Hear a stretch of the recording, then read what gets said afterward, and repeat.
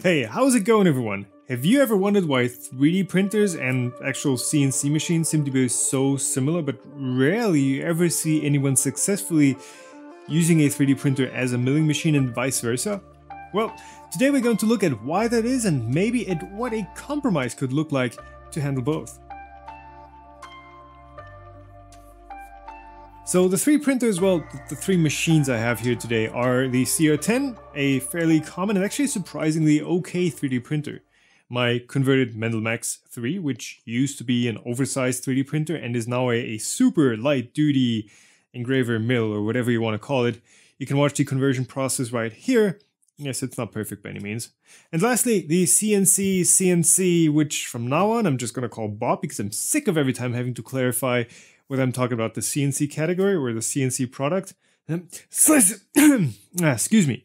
And this is a, a light duty mill. I know I'm using the terms milling machine, router, and engraver somewhat interchangeably here, at least for these machines, because they are neither actually.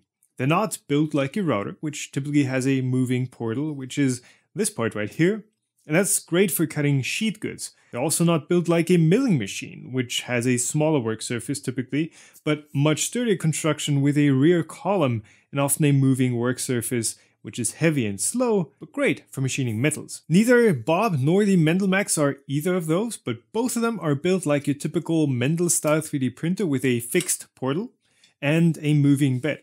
The Mendel Max has the x-axis mounted on top of the z-axis, and Bob has the z-axis mounted on top of the x-axis, but otherwise their basic kinematics are the same. And while we're at it, let's actually take a look at how these machines are built differently.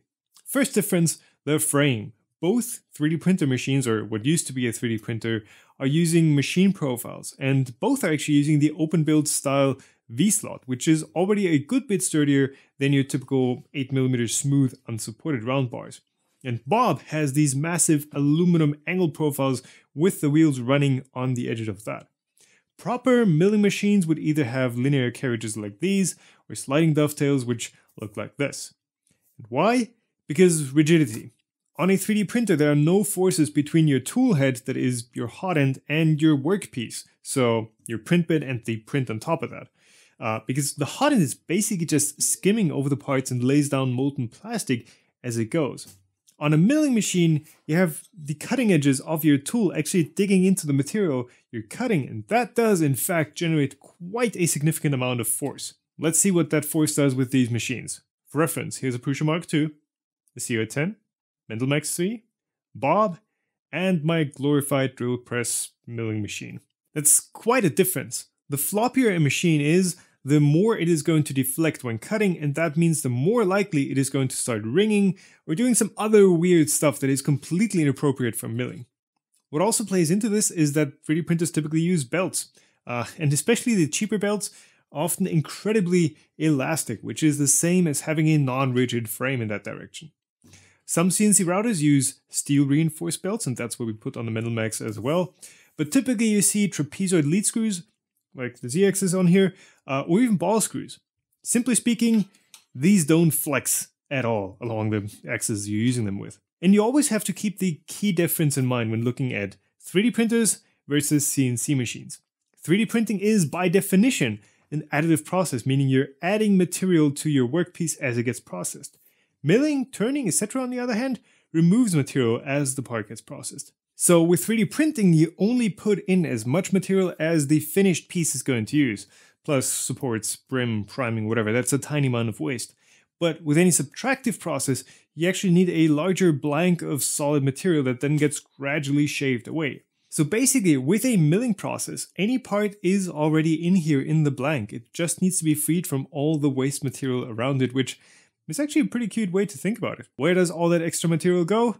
Well, shavings. If you're machining wood, you're often also getting a ton of dust, but aluminum shavings aren't much nicer to deal with either, because they're sharp, pointy, small, and large in numbers. It's one of the things you're very likely going to underestimate if you've never used a CNC and are thinking about converting a 3D printer, for example. There's going to be a lot more of these than you expect, and they will get everywhere. Oh, and the noise is pretty intense. So let's actually make something with these machines, shall we?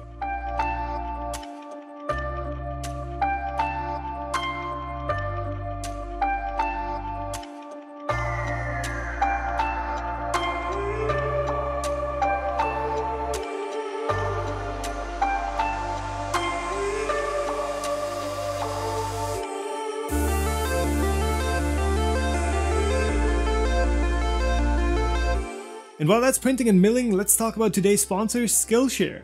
Skillshare is an online learning community, and right now they're offering over 19,000 classes for you to learn more about the things you enjoy. Daniel has been using Skillshare to get up to speed with videography and editing, and I've been taking classes on how to be a better boss for him. One of the classes we've both taken is DIY Cinematography by Ryan Booth, and it's a great compact course on the basics of lighting, camera angles, and motion in any video or film, and that will help us make better YouTube videos but if you're not into videography, Skillshare also has courses on 3D modeling, for example with Fusion 360, or basically any other topic you want to learn about just for yourself, or even for turning your hobby into a full-time job. Once signed up, you can watch as many courses as you want, and while premium memberships are usually around $10 per month, the first 150 people that sign up with this link will get 2 months for just 99 cents. These spots do go quickly, so make sure you don't miss out. Thanks Skillshare.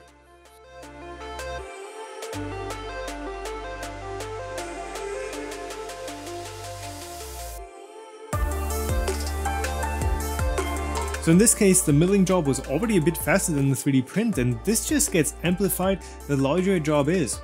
If it's really intricate parts, a 3D printer does have the upper hand as complexity doesn't nearly cost as much as with a subtractive process, but because a 3D printer will need to lay down every bit of material instead of just not shaving it away, it's not quite as scalable as a milling process. Now, a 3D print at this point in time is pretty much always built in the same very simple sequence. The machine starts at the bottom, works its way up vertically, and once it reaches the tallest spot of the part you want to make, it's done.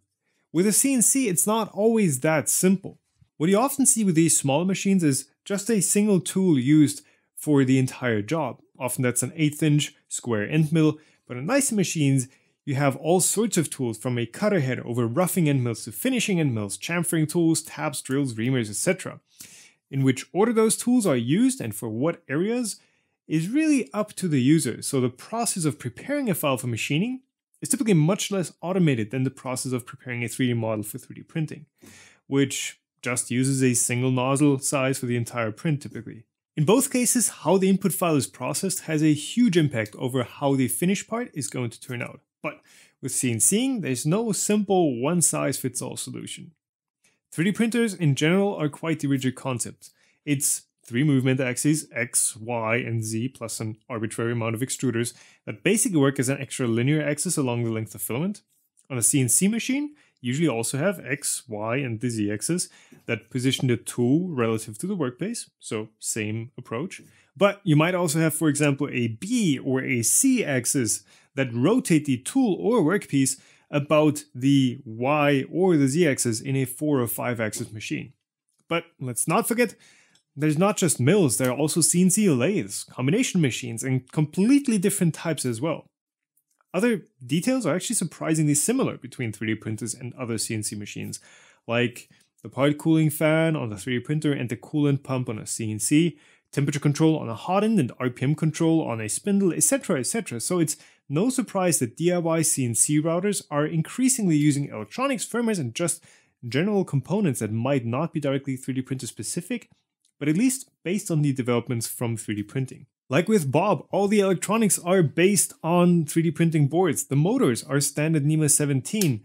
The computer interface is the same software serial port. It's basically a beefed up 3D printer. But let's not forget that 3D printers originally did originate from the larger CNC machines. Things like G-code are directly carried over from that, and many of the early 3D printing developments were built to both suit CNC applications and 3D printing. Think firmwares and even the back then slicers Skeinforge. What also carried over is that these machines are maybe not dumb, but at least blind. If a cutting tool breaks, the workpiece dislodges or anything else happens, these machines are often not going to notice it and will just keep on going. That is just now getting better for both 3D printers and mills. The biggest CNC machines are using things like load monitoring, the same thing the trinamic drivers are doing on 3D printers, as well as servo motors that have a feedback loop, etc. So yes, 3D printers and CNC milling machines are actually quite similar, and knowing one of them well will also help you get a head start with the other. But the differences in machine construction, especially when it comes to rigidity and top speed, don't really make combination machines all too viable at least for real applications. Maybe with a somewhat rigid frame and high-pitched lead screws you could build something that does both, but it would neither be a great 3D printer nor a great CNC mill. Okay, so with that I think we're set for trying some more CNC machines, right? I hope this video clarified some of the differences for you. If it did, give it a thumbs up, get subscribed if you want to see more like it, and, and do hit that bell to get notifications when new content goes live. Also check out the affiliate links below where you can get the products used in this video, like CR10, woo! And yeah, that's it for today, thank you for watching, and I'll see you in the next one.